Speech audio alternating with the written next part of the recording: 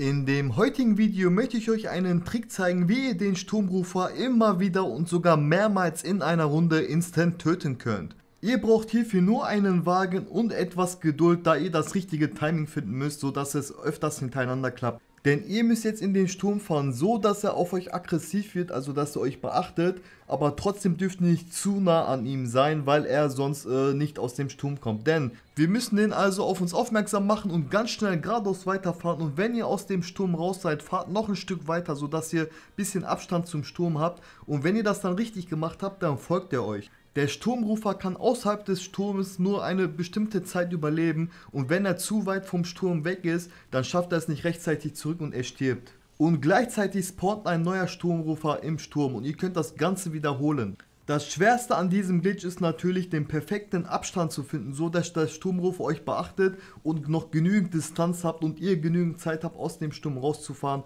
und weit wegzufahren, damit er euch auch folgt. Es kann auch sein, dass er euch nicht folgt oder nur bis zum Sturm folgt, dann wart ihr einfach viel zu nah an ihm dran und das ist halt das Schwierige, ne? das perfekte Timing hier zu finden, wie weit man sich ihm nähern kann, sodass er aggressiv auf euch wird, aber ihr trotzdem nicht zu nah dran seid und rechtzeitig raus könnt. Ihr könnt auch Geld farmen, denn jedes Mal, wenn der Sturmrufer stirbt, droppt euch einen goldenen Schädel und den könnt ihr im Shop für 5000 Punkte verkaufen und außerdem droppt auch manchmal so Waffenkoffer, also Wunderwaffenkoffer, die könnt ihr auch farmen, zum Beispiel wenn ihr jetzt einen neuen Grabstein anlegen wollt oder so. Und wenn ihr das perfekte Timing gefunden habt, um diesen Sturmrufer zu triggern, dann könnt ihr die rein, rein theoretisch von Anfang bis zum Ende der Runde durchgehend den Sturmrufer töten, ohne einen einzigen Schuss abzufeuern. Das war's dann mit dem Video, Leute. Ich hoffe, euch hat das Video gefallen. Falls ja, lasst doch ein Like da und einen Kommentar. Und falls du noch kein Abo auf meinem Kanal hast, kannst du das jetzt an dieser Stelle ändern, um nichts mehr zu verpassen und immer auf den aktuellsten Stand zu bleiben. Danke fürs Zuschauen und bis zum nächsten Video. Ciao!